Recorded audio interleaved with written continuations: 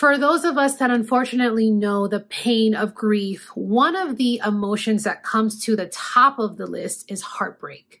Not only are we heartbroken about the person or the loved one that we lost, but there's also heartbreak over the loss of dreams, goals, aspirations. And so in this episode of Grief Rewritten, LaSandra and I are diving deep into what that looked like for us when we lost our husbands, as well as how we managed and continue to manage our heartbreak.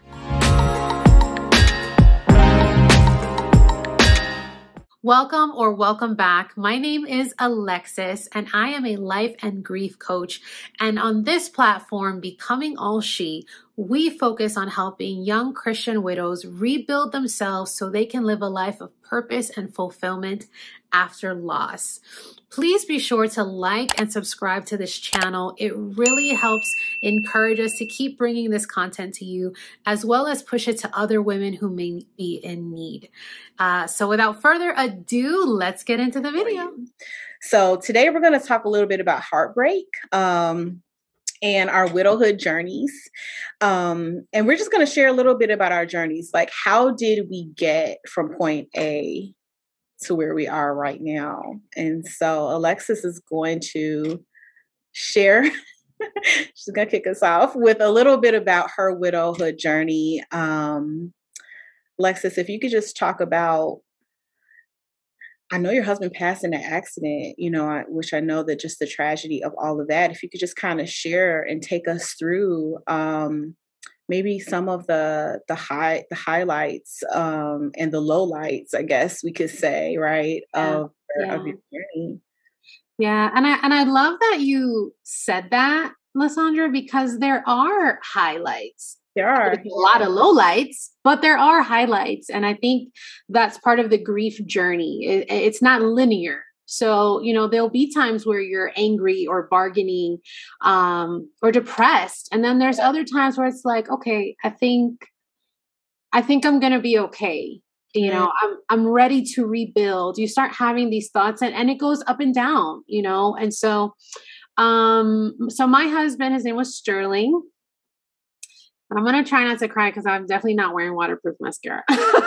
but this is just like the truth of what it is. It's been almost three years, and I still like it. Still pulls on me. It's still yeah. heartbreaking, you know. Yeah. Um, but yeah, so Sterling and I were married for three years. We had, well, he actually passed three days before our three year anniversary. It was, wow. it was really when I look back on it, you can't tell me God's hand wasn't on it because there were just so many signs and symbols. Um, but nevertheless, so Sterling was involved in a car accident when he was driving from our home in South Florida to his hometown of Atlanta. And so, uh, somewhere in southern Georgia, about an hour out. Well, I'm not good with geography, so let me yeah.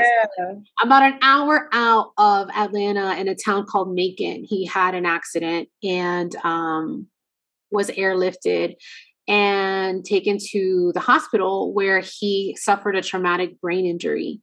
And I'll spare y'all the details. You can find more in my grief journey video that's linked here on my channel. I will post it probably down in the description box. Um, but basically he was in ICU for 3 months and we were waiting and praying praying and waiting to see uh, if something would change but he went without oxygen for about 22 minutes and so there was just way too much damage to the brain and we had had end of life conversations prior to the accident so i was very well aware of what his desires were in terms of end of life care. And so I was traveling back and forth from Florida to Georgia for those three months. My son was three years old at the time. So I was caretaker, nurse, admin three days a week, and then mommy and work. I was still working. So it was a lot. It was so much happening during those three months. And finally, the doctors were like, We need you to make a decision. He cannot stay in ICU any longer. And because I knew his desires, I was like, okay, Lord, I'm I'm surrendering. I'm trusting that if you're gonna you can do a miracle here, you can do it in hospice, but I know that us intervening and prolonging his life when he's not getting better is not what he wants and not what you have for him because I believe in the promise of heaven and eternal life. Um, and Sterling was he loved God and and had a relationship, and so there was no doubt in my mind. It was just the reckoning of like this is really happening, and I'm gonna I have to let go. Um, yeah. And not knowing what happened. And so Sterling passed on May 3rd, and the number three, three months after his accident. Um, or no, I'm sorry, August 3rd, which was three days before our three year anniversary. Wow. Um, and to be honest, it was weird. Like when I got the call, I went to visit him. I got to the, it was, it was a mess, but, um, I had to drive to the hospice facility because they told me it's time he passed an hour after I left because we got there at like one o'clock in the morning. My son was with me. I, you know, I got in the bed with him. I, mm-hmm. I said my final goodbyes and I knew I had to take my son home. I had to take him to our Airbnb. And then I got the call from the facility an hour later that he was gone. Wow. And I remember a sense of relief. And I felt guilty for that. Mm. I felt like why why am I why am I okay with this? Mm-hmm. But then I realized that was peace. Mm, my goodness. Wow. That was peace. And um from there I um I think my defense mechanism and I talk about this in my video was I'm just I'm going to act like not that it didn't happen, but like it's happened and it's done. Like the chapter is open and closed. Yeah. And we know that that's not it. It never closes. it never closes. Yeah. And so um, for a year, I went on this path of this like rampage of I'm superwoman. I'm going to take care of my son. I don't need anybody's help. I got this. I'm good. Yeah. And on the surface, it and I don't know, I can't say it looked like that because I like cut off all my hair. I lost like 30 pounds. But in my mind, I thought I was good. I went back to work three months later. Like I was like, I'm I'm good. And my my co-workers at the time at that job would shout out to them because they were so supportive. I don't work there anymore, but they were really great to me and to my family. And they're like, Are you sure you're sure. ready to come back? And I'm like, yeah, let's go, let's do it. And I was traveling. I mean, it was really looking back at it, I was out of my mind with grief mm-hmm. and not dealing with it. And mm-hmm. so I got really sick. I was like, my mental health suffered. I was an insomniac. I was anxious. If I didn't take sleep aids, I would be up for 36 to 48 hours at a time. It was that bad. Okay. Um, I had suicidal ideation where because I was dealing with so much in my marriage and not having that closure, I was just like, I don't want to be here. Yeah. But I knew I couldn't leave my son. Yeah. That, he was like my saving grace because wow. When I was like, I don't have anything, there's I don't have anything to live for, I would be reminded of him. And so um yeah, after about a year of that, Mm-hmm. I finally reckoned with like if I don't do something, I'm not gonna make it. Like literally. Um, yeah. I'm gonna have a heart attack, something's gonna happen. Like um I felt it and I felt the spirit telling me that like you need to you need to do something. Yeah. And uh so my cousin, which shout out to her, my best friend, love her to death. Shout out to T. Uh, she was like, you know, why don't you come out to Denver? Because we were still living in Miami at the time. Why don't you come out to Denver? Just hang out for the weekend. Bring Mason with you. And a three day trip turned into a week long trip. And LaSandra, I in that week I didn't have to take my sleep aids not once. Mm, okay. And there was a piece, and this was like in the midst of COVID too. Yeah. Like, let's not forget about that. Um, and I remember it like it was yesterday.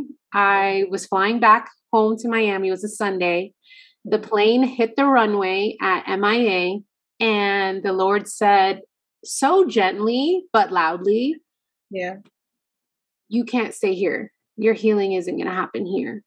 Wow. The next day I quit my job. Well, I gave my notice. I didn't yeah. just like that. I gave my notice. Yeah. And three weeks later, I was moving to Denver.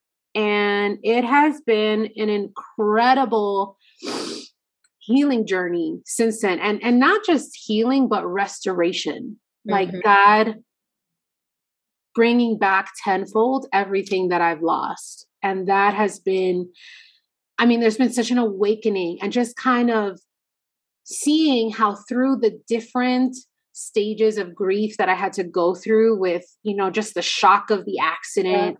Yeah. You know, there were times where I'm like, is this happening? Is this my life? Like the denial of it. Yeah. Um, and then just kind of moving in and out of the different feelings of like pain and anger and bargaining and then finally finally getting into a place where i'm like i can i i ha, i'm giving myself permission to rebuild to reconstruct yeah. this new chapter of my life. Um it's it's it's been an it's been incredible. Honestly, honestly it has been um wow and i'm just so grateful because what's what has happened oh there's my dog. What has happened is god has brought in community like that has been a really pivotal and that was that was where the shift happened like my cousin came in and redirected me and then when i got to denver i got plugged in and then i met you and yeah. the rest of the group when i was here in yep. denver yep. and so you know community community and that support um I just see God's hand in it and how He sent different people into my life to to guide me and lead me. What what? Because I, I, feel like, and I remember being there. People want to know what was your timeline off it, and I, I was the same way. So you said for a year you were trying to handle everything on your own. Yeah, yeah. After the year, that was your turning point, right? Yeah. Mm-hmm. Everything you started to when you moved to to Denver. Yeah. Uh, and now you it's been two years since you've been there right yeah just about in september it will be two years that i've been here in denver. It's been a year and a half. And in august so august will be three years since okay. sterling passed and then september will be two years that i've been in denver. You've been in denver okay. Mm-hmm. um and you in terms of like your healing journey i know being there with your cousin and you said finding community what were the other key factors that allows you to start to break through mm. i think each and every single one of us it's not i don't know if it's spelled out in the stages of grief but i think surrender is mm-hmm. my goodness really a key fact, especially as Christian widows. I can't speak that for everyone. I know, but I know as a Christian. And the thing is, I think it's really important to define surrender. I, I can't claim this definition as my own, but I'm going to say it. I heard it said um, by a friend of mine surrender is not I'm useless. Surrender is giving God what you have so he can make use of it. And mm. for me, what I had to give was heartbreak was uncertainty, pain. That's what I have, God. That's that's what I, that's the truth. That's what I have. And saying, I don't want to hold on to this anymore because it's making me sick. Yeah. poison. And so, God, I'm going to hand this over to you. Yeah. Do with it what you will. That is surrender to me. Um, wow. And when you do that, I believe God honors that. Yeah. And God takes that and says, "Let me let me fix that for you. Let me make that beautiful because I love you and because I care. And because that is my promise to you mm. that I will do that." And so it was a it was a slow process because again in terms of faith when you add the faith component you know there's that age old question of like why do bad things have to happen why do people have to die and when we look at it from the common sense of man, it deteriorates the character of God. Mm. So, what would make sense to us in our limited understanding as human, as human beings, as man, yo, God, God can do exceedingly and abundantly beyond what we can comprehend. And it's yes. like the beauty that has come out of the loss of my husband. I'm a completely different person today. Yeah. Because I loved and lost. That I wouldn't be this person today if that didn't happen. And knowing at the same time that, wow, this tragedy this was a tragedy, like my husband is celebrating in a mansion right now. Mm-hmm. mm-hmm. And hopefully, not anytime soon, mm-hmm. I will mm-hmm. be there with him. You know, like I will see him again.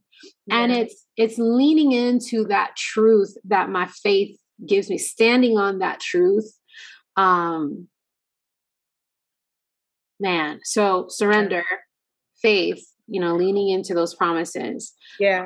Um and i think just acknowledging acknowledging what's happening you know like i mentioned earlier for me it was like i'm not dealing with this i'm not doing it. But how many people are doing it? Yeah. And in women right? Not just widows but all other all kinds of grief. How many people are avoiding dealing with the issues and the pain and the heartache um, of grief. Right. So I, I mean, I, I, I honestly, um, I just appreciate you sharing that part of it because I feel like so many people are kind of just running around in denial or running around like they have to be super, a super super Christian or super mom or super dad and not or running around telling themselves, I'm fine, I'm fine, I oh, got it yeah. but they're not they're not okay. Right. And it seems like too from your story too sometimes it, it takes rock bottom. Right. Yeah absolutely and i think too you know we culture is kind of it, it shifts right whether it's generationally every few years and so we've we've come into this season of like self-care and i i love it but i think there's a danger in it in that the self care piece, I think the worldly mantra is like, do you yeah. for you. And it's like, nah, we need you to do you because we need you. We need your contributions. We need you to serve. Okay. Like your self care in terms of your healing process, your healing journey doesn't end with you. Like I'm still in the healing process, but I have come to a place where I recognize the spirit leading me and saying, no, like we need you to, I think you shared this in our first video. We need you to reach back. Mm-hmm. You have sisters coming up behind you yeah. that ha- have experienced or are experiencing the same loss that you did three years ago. You need, you need to help bring them out of the fold too. Yeah. Um, and so that's kind of like, I think going back and serving because there's ministering that happens when you serve too.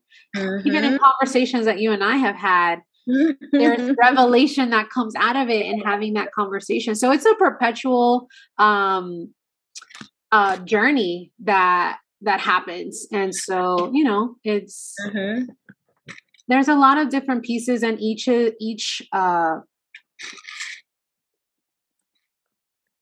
each person has their individual journey. But I think that community coming in together and just having people that can rally around you is what really makes all of these other pieces make sense. Yeah. Yeah. Yeah. I really hope you enjoyed that video. You know, there's something that's um, so healing about talking about my story, even three years post loss. And my hope and prayer for you is that through sharing this story and having these conversations, that you can find healing and restoration too. If you're looking to join a community to continue these conversations, look in the description box, click the link below to join my Becoming All She Facebook group where we come together. We have these con- we continue these conversations online and you can also have a direct link to me. You can also schedule a one-on-one breakthrough sessions to dive deeper into your personal story and maybe i can help along the way. Now, if you would like to see part two of this video where LaSandra shares her side of the story, I'll also leave the link below to her channel where you can catch the second part of the episode. We love you. We're so happy that we're here. And remember, Be good to yourself so you can be kind to someone else. We'll see you next week.